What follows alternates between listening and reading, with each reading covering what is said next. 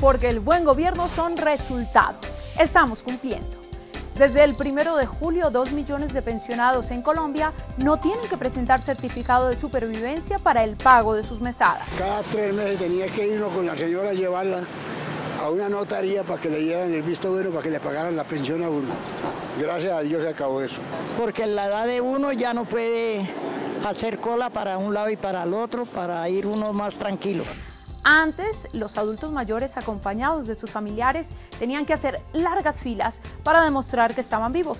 Hoy el Ministerio de Salud tiene listo el sistema para que las entidades de seguridad social consulten la supervivencia directamente sin necesidad de certificado.